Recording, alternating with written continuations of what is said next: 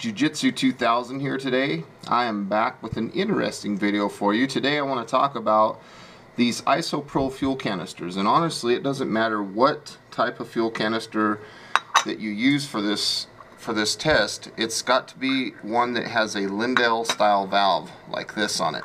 What I want to talk about in this video is a brief very quick way to tell how much fuel you have left in this canister.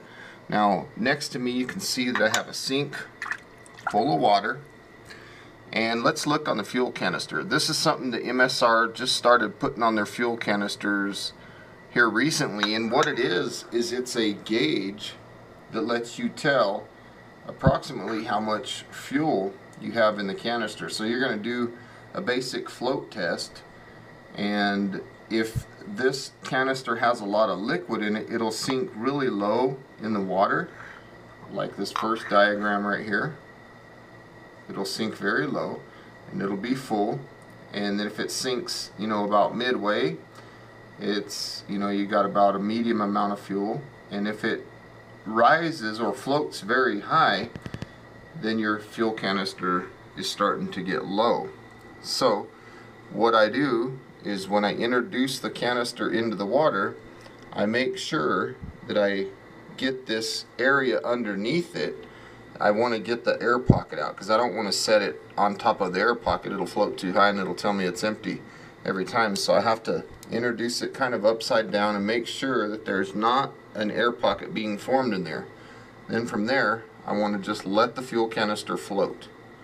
And when it floats, I'm going to spin it around and just look, the higher that it floats, the emptier it is. So the more that it floats down into the water, the heavier it is, you know, the fuller it is. So if it was sitting about like this, that'd be about medium and up here you can see that this canister is just about on empty. But again, if it was full, it would sit real low in the water. So that's a very brief way of being able to tell how full your isopro butane or propane canisters are.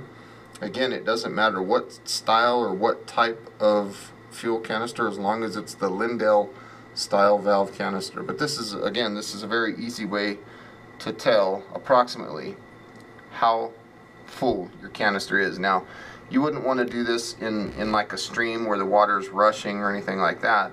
But this is good like if you have a pot, you can put some water in the pot, you know, or a sink or something like that, or some kind of reservoir. So you can see, again, this one's just about empty.